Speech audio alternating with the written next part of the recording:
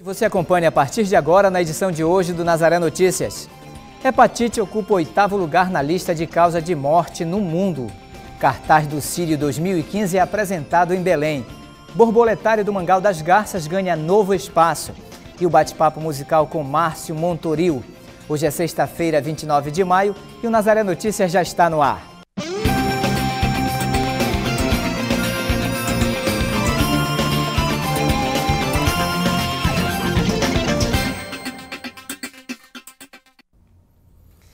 Começamos o Nazaré Notícias de hoje falando de saúde. A hepatite é uma doença causada por vírus e atinge o fígado. Se não for tratada corretamente, o paciente pode chegar a óbito. A doença ocupa o oitavo lugar na lista de causas de mortes no mundo.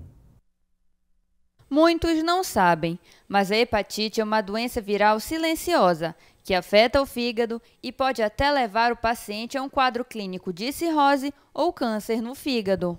Os sintomas são parecidos com uma indisposição, mas o paciente deve ficar atento. É mal-estar, fadiga, os olhos né, amarelos, né, a questão do cansaço, mal-estar. Então, mas como se confunde, a pessoa não, não sabe se ela está ou não. Então, ela tem que fazer a testagem. Então, ela só pode ter certeza que ela teve contato é com a testagem. Existem cinco tipos de hepatite viral: A, B, C, D e E sendo que as hepatites B e C são as mais perigosas. Hepatite A é aquela hepatite que é através do saneamento, né, da água imunda, de contato com alimentação. Então essa é 99% da população mundial já teve contato com o vírus, já teve hepatite A. Isso é... Agora as piores é hepatite B e C, que a B e a C é através do sangue. Então tem um contato, não sabe. Então qual é o nosso grande trabalho? É estar trabalhando a prevenção dessas da B e da C. Porque o nosso grande problema também é que as pessoas não sabem, não têm acesso e não conseguem se tratar. Tem tratamento, ela tem medicação, tudo custeado pelo Ministério da Saúde. Então, qual é o grande trabalho que nós temos? É fazer o diagnóstico. Entre janeiro e maio deste ano, já foram diagnosticadas 299 pessoas com hepatites, das quais 148 com o tipo A, 102 com o vírus B e as outras 49 com a tipagem C.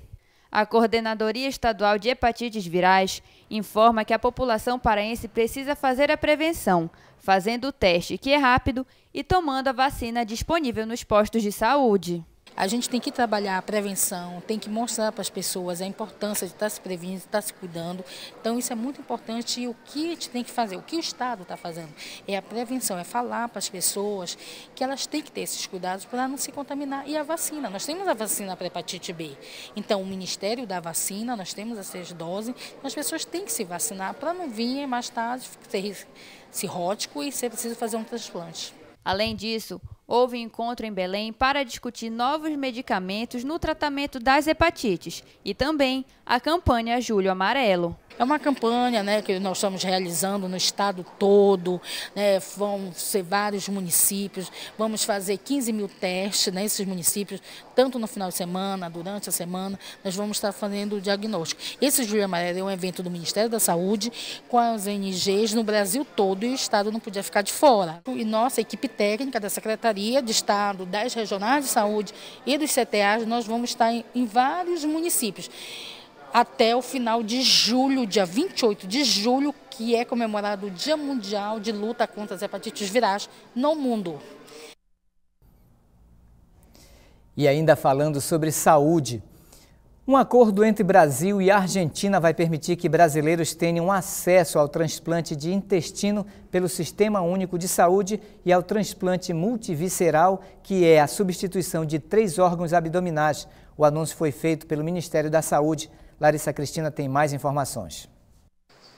Marcos, a cooperação técnica foi firmada entre o Ministério da Saúde do Brasil e da Argentina.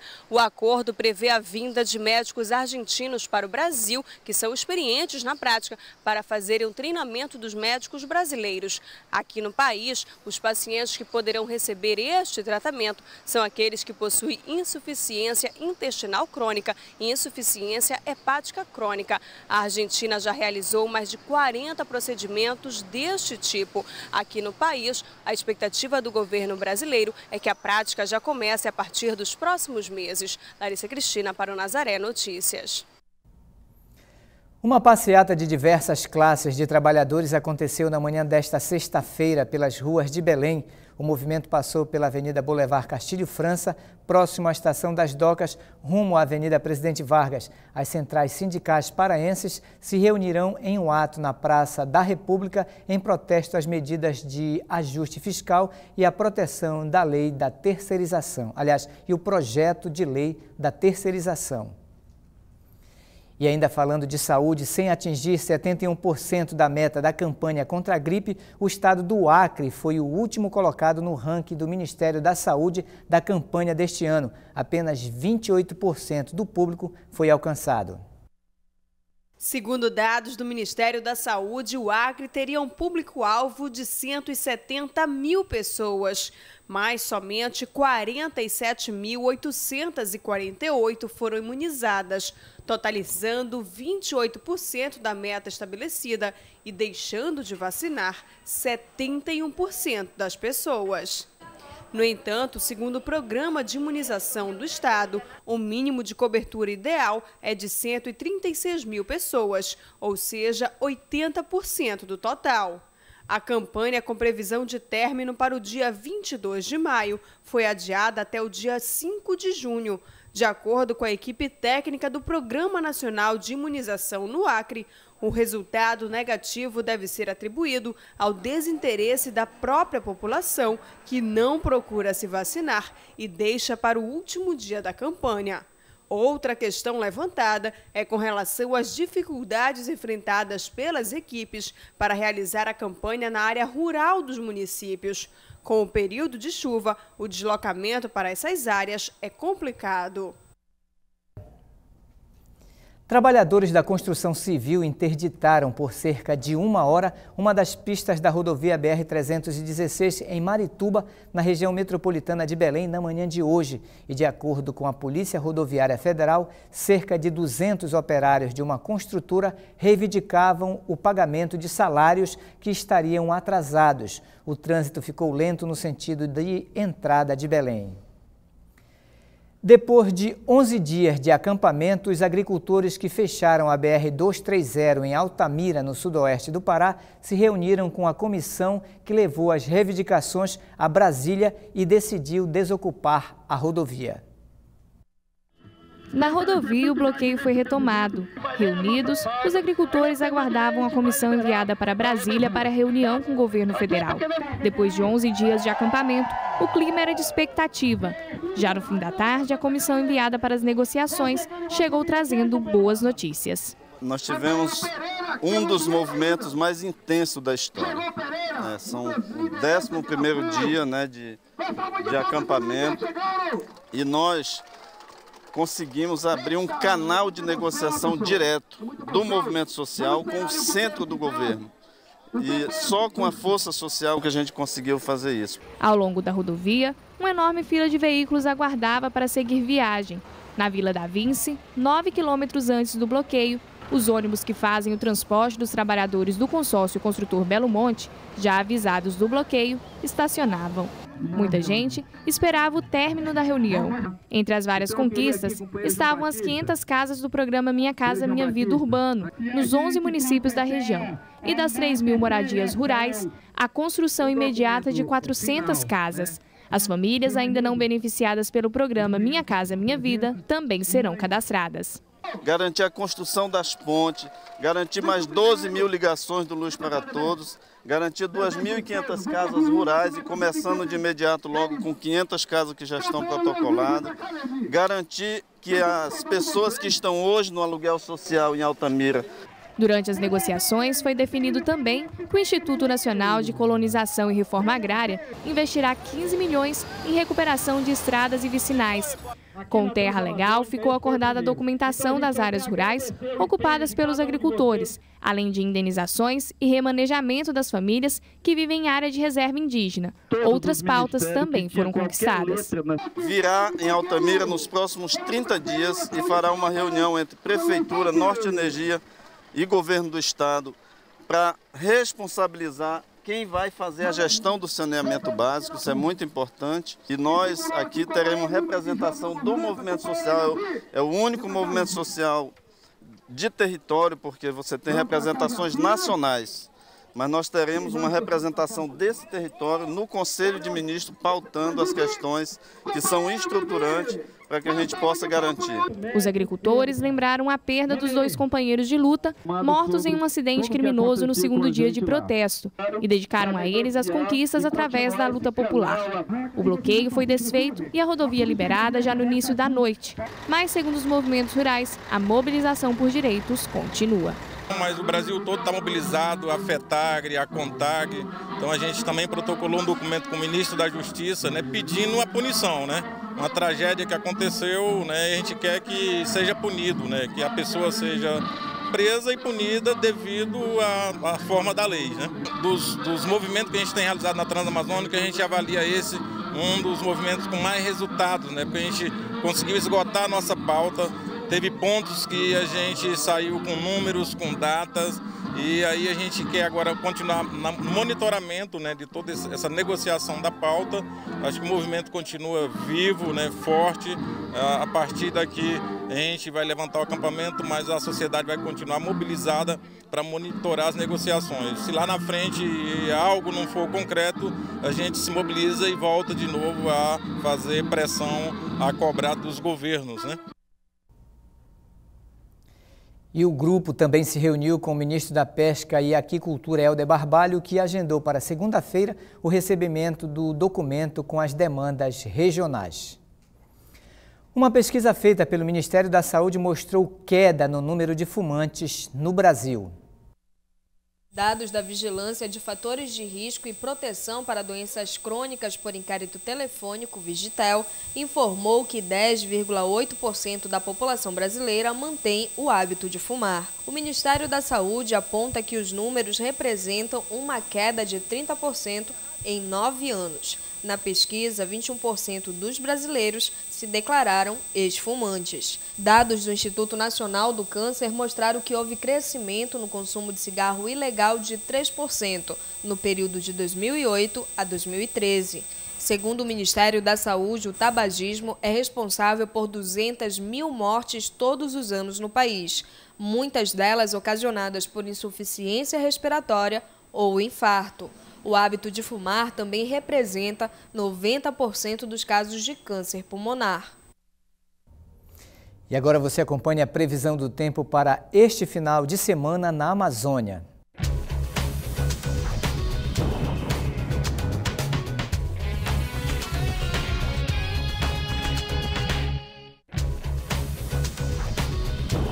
Em Paragominas, sudeste do Pará, o dia será de muitas nuvens com tendência de chuvisco a qualquer hora.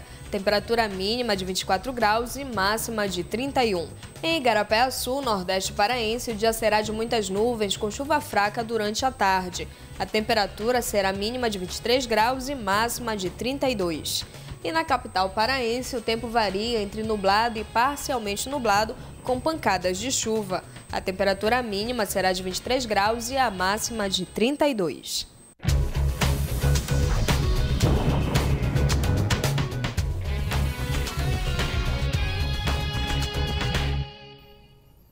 E vamos voltar a falar em Altamira, que fica aqui no sudoeste do Pará, onde as pequenas capelas que ficam nos bairros atingidos pela construção da usina de Belo Monte estão sendo remanejadas para novos bairros dos reassentamentos da Norte Energia.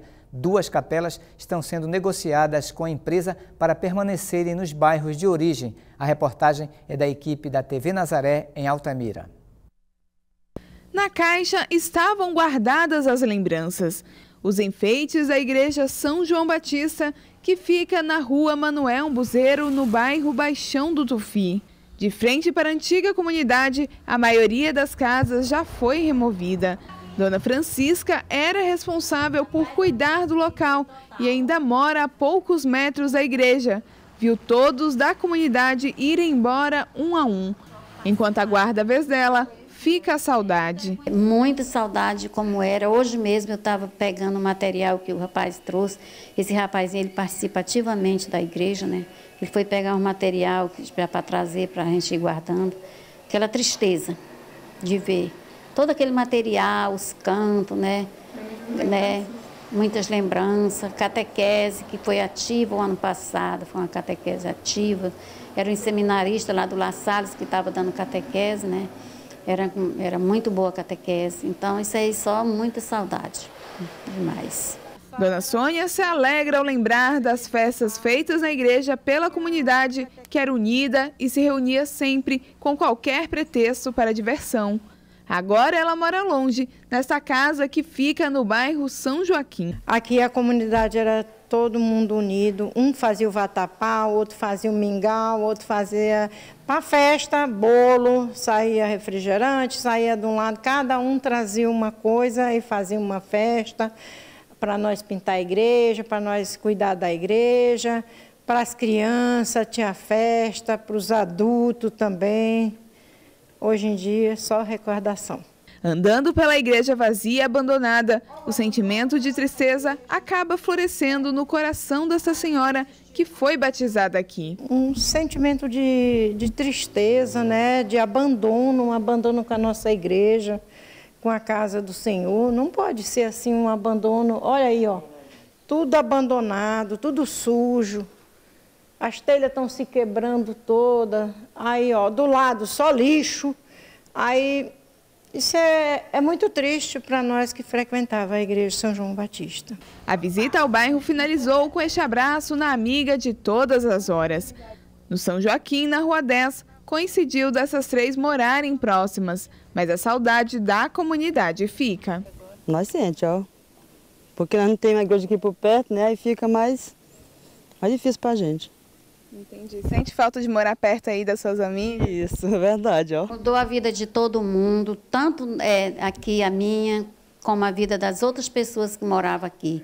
Porque foram remanejadas e lá estão se sentindo muito só, porque lá não tem uma igreja onde eles participar, né? Então lá eles estão se sentindo muito só. E aqui a nossa comunidade está isolada, né? O nosso centro já foi desativado porque não tem pessoas para participar. Então foi assim uma grande desolação para a nossa comunidade. A igreja São João Batista não foi a única atingida. A igreja São Benedito, que ficava na rua Fausto Pereira, do bairro Aparecida, já foi até removida.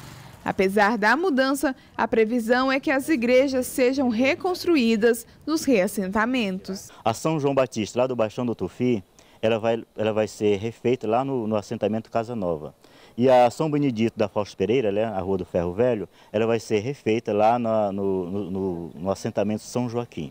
Então, assim, a gente sente a saudade, a gente vai sentir a falta do, do, do, local, da celebração das pessoas, mas essas pessoas, esses fiéis que frequentavam essas igrejas aqui, também eles serão removidos para, essa, para esses dois assentamentos. Vai receber uma igreja é, em bem melhores condições do que a que nós tínhamos aqui.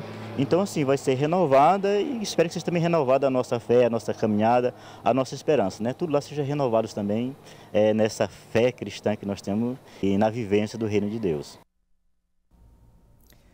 Os professores da rede estadual de ensino de Alenquer, no oeste do Pará, decidiram pelo fim da greve e retorno das aulas na próxima terça-feira. A categoria tomou a decisão durante a assembleia realizada esta semana.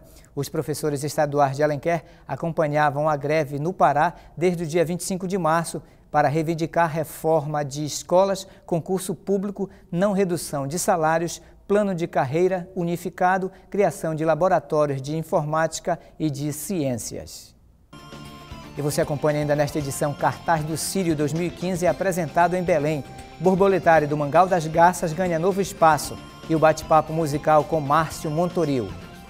Voltamos com Nazaré Notícias, agora falando sobre o Cartaz do Sírio 2015. Na noite de ontem, todos conheceram o novo cartaz da festividade em honra a Nossa Senhora de Nazaré. A peça, que já se tornou um dos símbolos do Sírio, foi apresentada na Praça Santuário. 4 mil exemplares foram distribuídos ao público presente.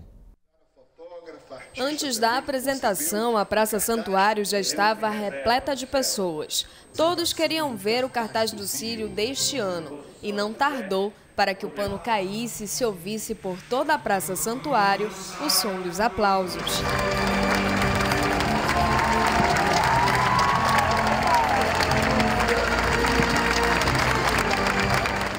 A imagem que está em primeiro plano foi fotografada por Rosângela Aguiar, que na ocasião assinou a doação do uso de imagem para a Basílica Santuário de Nossa Senhora de Nazaré.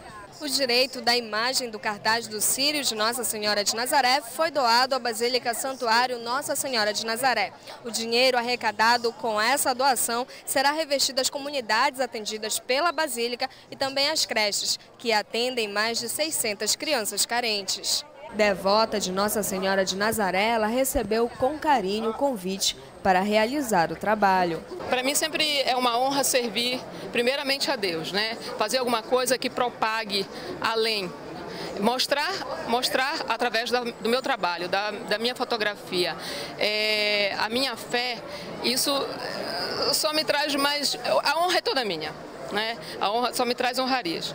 E eu, eu passo, através do meu trabalho, a minha emoção, o que eu sinto e a minha devoção por Maria e ao meu Deus. A produção do cartaz é tarefa da Mendes Comunicação, responsável pela montagem há mais de duas décadas. Sempre tem uma preocupação a cada ano de tentar, desde que seja viável, associar a ilustração do cartaz com o tema do Círio.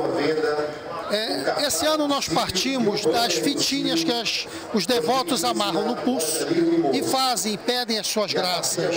Foi a partir daí que se imaginou dar a essas fitinhas a forma de um grande esplendor como fundo da imagem de Nossa Senhora e que depois se transformou também num grande ostensório.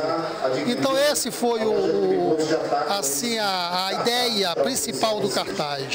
A gente fica muito feliz porque a gente percebe que as pessoas gostaram do cartaz do Círio 2015, que as pessoas vão levar esses cartazes para fixar nas suas portas, levando Nossa Senhora para as suas casas. Portanto, é um tempo de muita festa.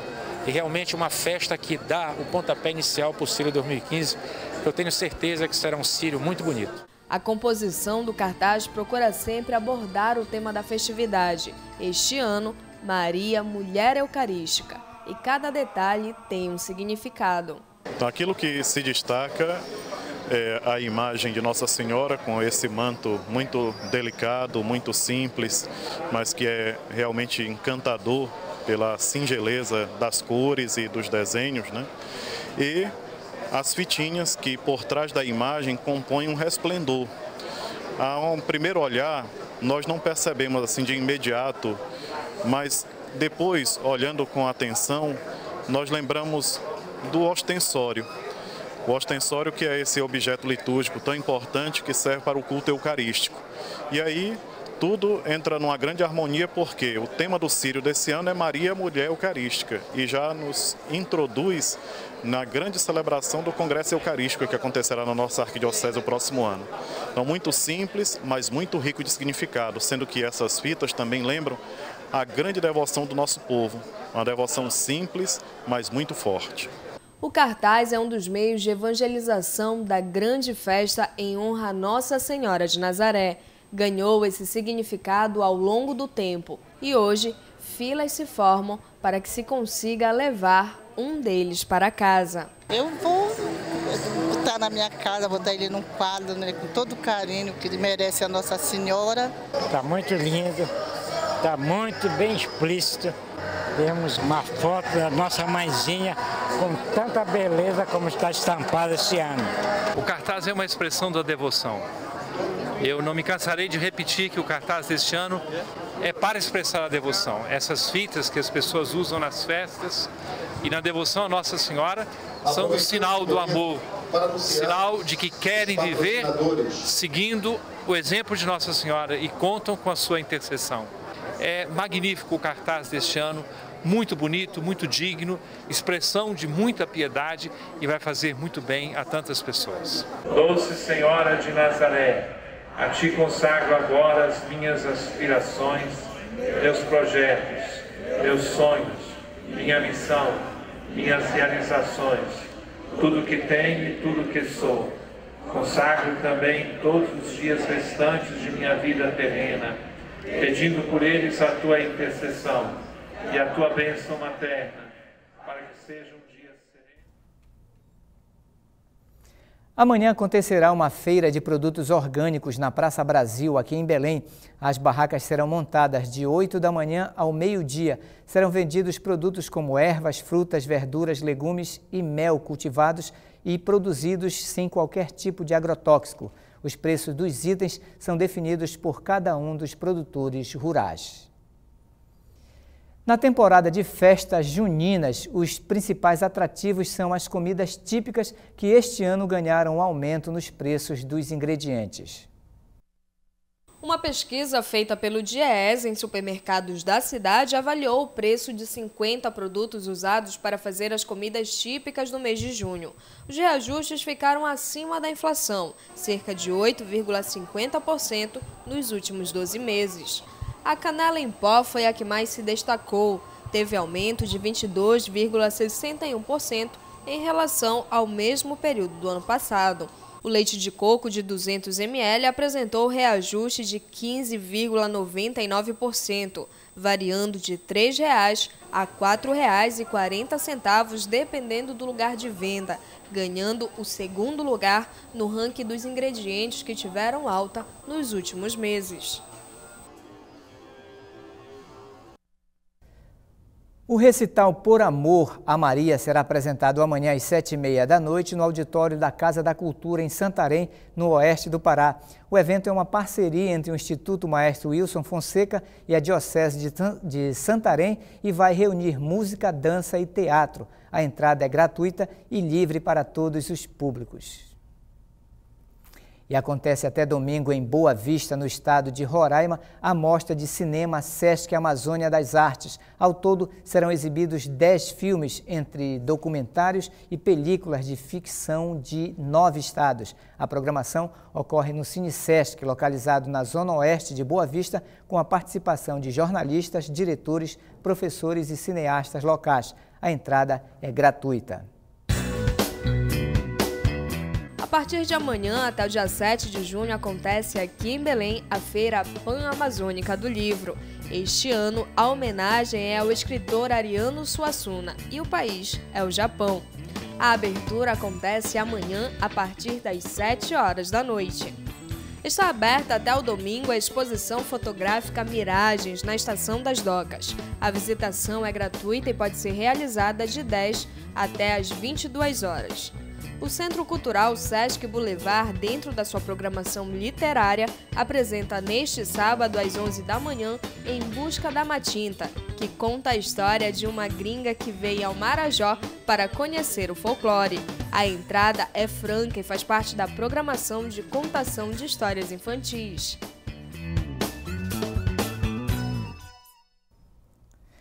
No mundo inteiro existem cerca de 20 mil espécies de borboletas. A América Central e do Sul concentram 40% delas.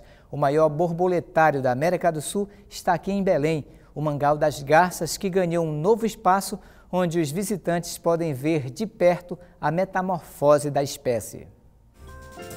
No Brasil são conhecidas 3.500 espécies de borboletas, sendo que a maioria está na Amazônia, 2.500.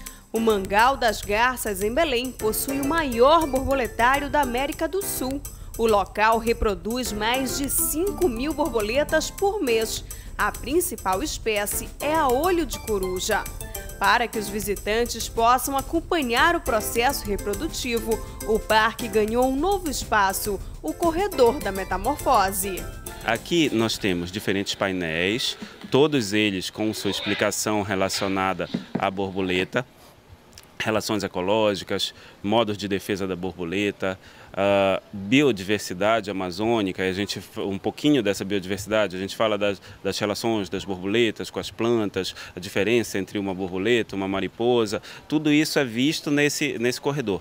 Mas principalmente a gente tem uma vitrine interativa, ou seja, o visitante que vem até aqui, ele pode conversar com os tratadores, ele pode ver os tratadores do outro lado do vidro cuidando das lagartas e uma criança que vê isso não esquece nunca mais. A borboleta se desenvolve em quatro fases. As crianças ficam encantadas ao acompanhar todo o processo.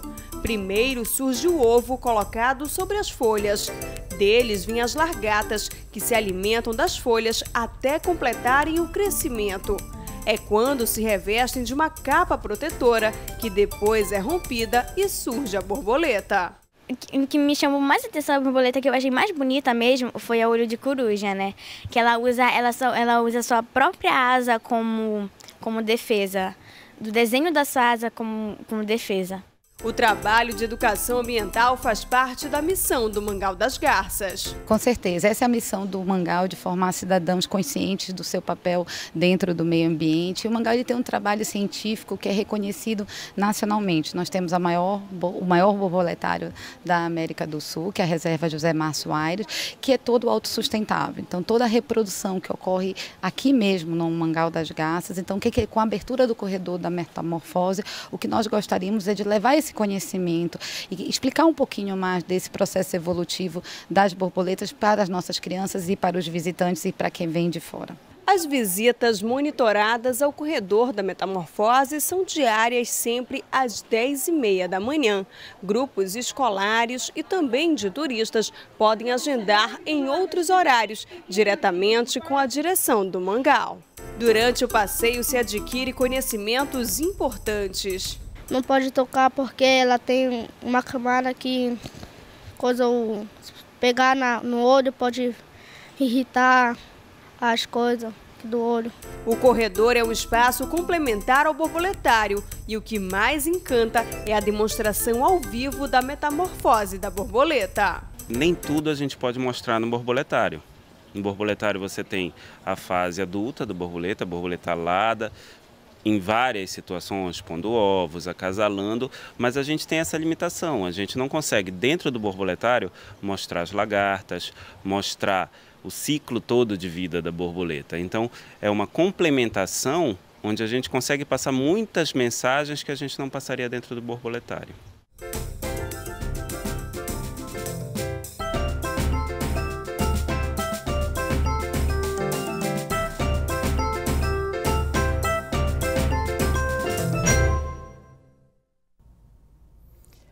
A diversidade musical é o diferencial do cantor e compositor Márcio Montoril. Ele mistura poesia do campo com poesia urbana.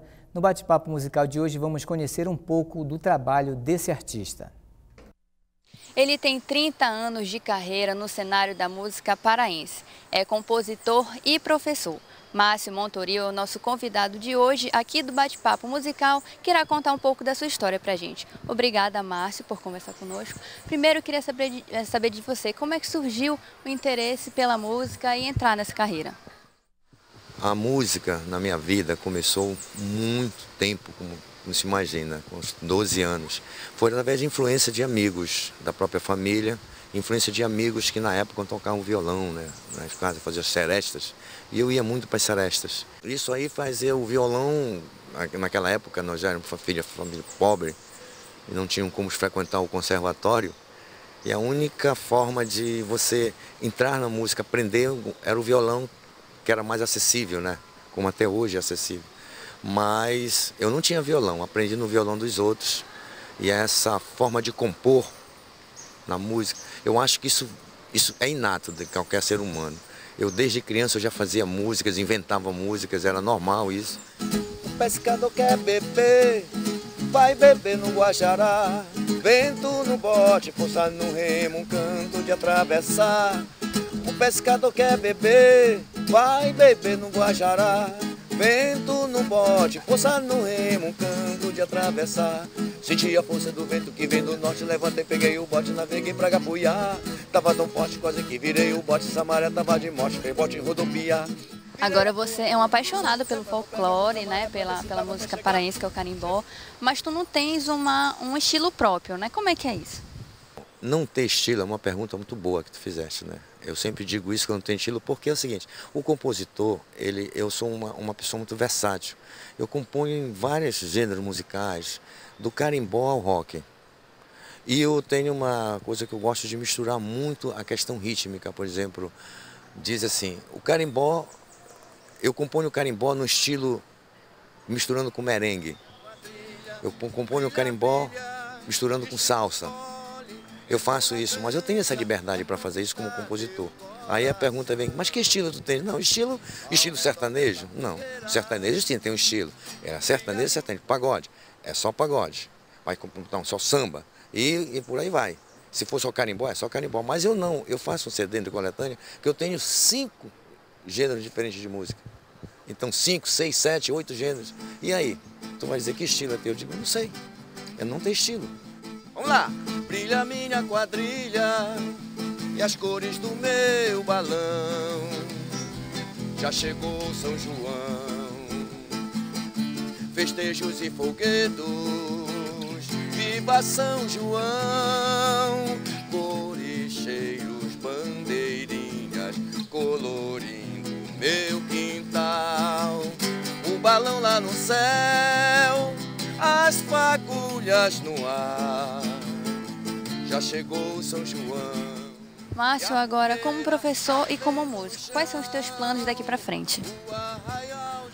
Como professor primeiro, como professor é continuar no Promuses, continuar ensinando violão para as crianças da escola de Ananindeua e tentamos chegar no fim do ano fazer um grande espetáculo com todos os alunos que se destacaram no projeto, pegar um teatro, convidar os pais, a comunidade para isso. Esse é um plano, né? O outro plano no música é dar continuidade e, e, e realizar o show musical do sonho da minha vida, que é chamado Trilhas Lendárias do Guerreiro do Tempo. Foi um, um espetáculo de dança, contada a história de um índio que saiu da Amazônia e queria conhecer o mar. E nós vamos começar a captar recursos para a gravação desse CD e tentar reunir um grupo de dançarinos para um coreógrafo para poder montar esse espetáculo, porque eu não sou coreógrafo. Eu tenho que ter uma parceria. Eu só fiz as músicas, fiz a história. Esse é meu plano até fim do ano realizar. Com minha nega em cima de um caminhão, a sua blusa com cheiro de camfurina, com reboliço dentro do meu coração. Chegou das ilhas, jeito tímido, menina. Chegou no porto em cima de um batelão, me conheceste no açougue do mercado, vendendo bife de ventrecha de cação. Me conheceste no açougue do mercado. Tá certo, então obrigada, Márcio, pelo nosso bate-papo de hoje e sucesso na sua carreira. E se você gostou deste bate-papo e das matérias exibidas hoje aqui no Nazaré Notícias, é só acessar o portal Nazaré ou a nossa página no Facebook. A todos um excelente final de semana e até segunda-feira. Cheiro de peixe pitiu, olho de porto, barco que dorme no porto de Costa pro Guajará. Cheiro de peixe pitiu, olho de porto, barco que dorme no porto de Costa pro Guajará. Vem, morena, vem de Calabijó, vem mostrar pra gente como é que dança o carimbó. Quero te ver, morena, quero que venha só pra amassar um tipiti